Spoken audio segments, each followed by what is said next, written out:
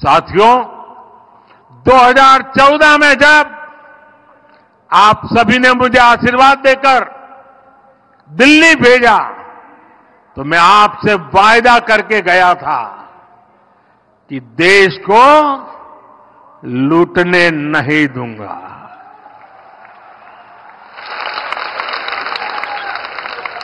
कांग्रेस के समय में जो हज़ारों करोड़ के घोटाले होते रहते थे वो सब अब बंद हो चुके हैं। बीते दस वर्षों में हमने देश को दुनिया की पाँचवें नंबर की आर्थिक ताकत बना दिया।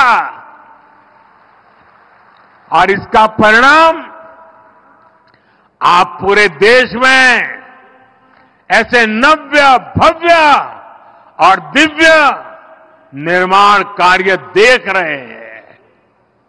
एक तरफ़ हमारे दिव्य तीर्थ स्थल आधुनिक स्वरूप में सामने आ रहे हैं। तो दूसरी तरफ़ मेगा प्रोजेक्ट से नए भारत की नई तस्वीर बन रही है।